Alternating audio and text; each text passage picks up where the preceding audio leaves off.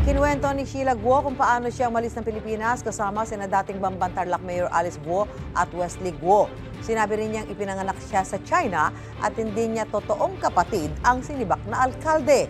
Itinanggi naman ni Sheila na konektado siya sa Pogo Hub sa Bamban. May unang balita si Salima Refran. Ano po? Sasakay kami ng po sa dagat. Tila nasasagot na ang tanong na how did Alice Guo? Yan ay matapos idetalye sa Senado ng kinikilalang kapatid ng dismiss Bamban Mayor na si Sheila ang pag-alis nila ni na Alice at isa pang kapatid na si Wesley mula sa kanilang farm sa Bamban Tarlac patungo sa ibang bansa noong unang linggo raw ng Hulyo. Dito lang po kasi galing kami sa sa bahay. Tapos Bahay. may sunto sa amin na isang sasakyan. Kayo Diretso dinala? Anong klaseng sasakyan? sa Van.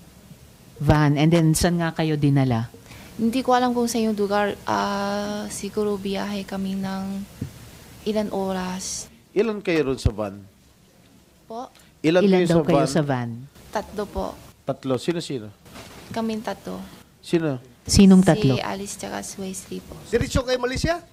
From Hindi po. Pilipinas? Saan? May palit ng, may palit. Ha? May, papal, may palit yung ma- mas malaki pa. Backdoor umano ang ginamit na ruta ni Naguo. Pero hindi matukoy ni Sheila ang lugar kung saan sila sumakay ng bangka, saang bansa sila pumunta at sino ang tumulong sa kanila. Pero base sa tatak sa kanyang Philippine passport, sa Sabah, Malaysia sila unang nagpunta noong July 18 bago lumipad pa Singapore noong July 21 at tumawid pa Batam, Indonesia noong August 18. Nung aalis na kayo nung gabi, alam mo kung saan kayo pupunta? Hindi po. Hindi ka nagtatanong?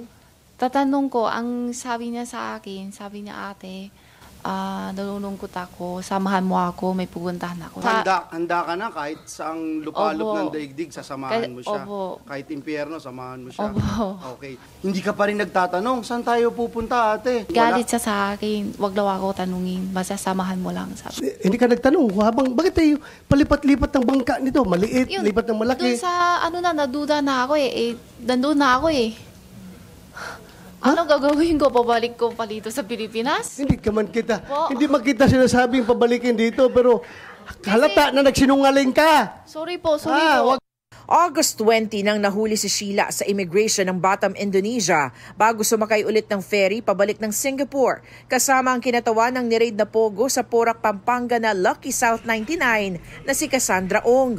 Mula Singapore, balak sana nilang pumunta ng Hong Kong. Si Wesley, alam ko nauna siya sa amin sa Singapore. Okay. And then, si Alice mismo, nasaan siya? Ah, yung hiwalay kami lang sa Indonesia pa po siya. Nandun pa ba siya sa Batam? Hindi ko alam kasi nauna siya alis sa hotel. Si Cassandra Ong, kanina narinig ko nung tinanong ni Senator Risa, um, kailan nakilala mo lang siya sa Malaysia? Opo. Hindi mo siya dito nakilala sa Hindi. Pilipinas? Ah, pangalan na ang narinig ko sa Pilipinas. okay, paano mo narinig? Anong Kay- anong narinig mo tungkol sa kanya? Kay Wesley po. Eh, Anong sabi ni Wesley? Um, mukhang girlfriend niya ata. Ah, mukhang girlfriend. Mukhang girlfriend o girlfriend niya? Okay lang 'yon. Wala din naman illegal Siguro ang girlfriend. girlfriend. Sa pagdinig, umamin rin si Sheila na hindi siya talaga pinanganak sa Pilipinas at dinala lamang sa bansa. Hindi rin niya tunay na kapatid si Alice Guo. Si Guo Jiangjong, ah, hindi niyo biological father. Hindi po yung tunay nanay. Hindi mo Tatay, tunay, opo. hindi mo tunay na Opo. tatay. Si Lin Wenyi, hindi mo rin tunay na nanay. Ay, hindi po. Okay. So si Alice, hindi mo siya tunay na kapatid. Hindi po. Bakit kayo pumunta dito sa Pilipinas? Ah, sabi kasi ni Daddy, tulungan ko daw siya na mis, ah, business niya. So, hindi totoo na dito kayo pinanganak? Ah, hindi po. Ako hindi. So, Opo. sa, sa China din kayo ipinanganak? Ako po, opo.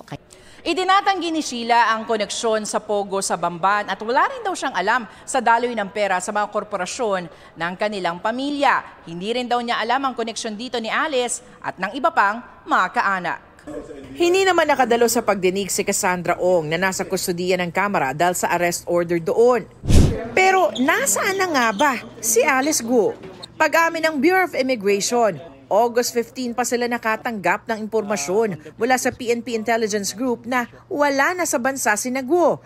Pero August 20 na lang napagbigay alam sa Department of Justice matapos ang validation. Sa ngayon, wala na raw sa Batam pero nasa Indonesia pa rin ang dating mayor. Samantalang nakaalis na doon si Wesley. Based on uh, rep- latest report, uh, si Alice Go is in Jakarta. The request for the deportation of Alice to the Philippines is still standing. The latest we got from Wesley Go is uh, umalis siya ng Batam ng uh, 20 uh, using the same ferry, then umali, sumakay siya ng eroplano going to Hong Kong. Nauna nang pinag-utos si Pangulong Bongbong Marcos ang malalimang investigasyon para may mapanagot sa pagpuslit ni Nagwo. DOJ, I was just with the secretary, uh, is almost finished with a very thorough investigation. And we will identify all of those who have, um, uh, all of those who are involved in this, and we will act very quickly. That's what the last part of this is. How far, how deep does it go? Isa lang bang tao ang involved? O marami sila? O sindikato ito? There are no sacred cows. But we are going to ensure the public na lahat po ay dapat managot kung sino man po ang tumulong. Ito ang unang balita sa Lima Refran para sa GMA Integrated News.